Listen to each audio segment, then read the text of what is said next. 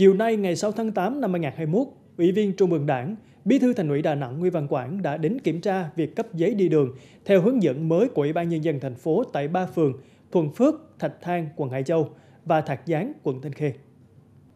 Chiều nay ghi nhận thực tế tại ba phường, lượng người đến xin giấy đi đường tại đây có giảm hơn so với buổi sáng và ngày hôm qua.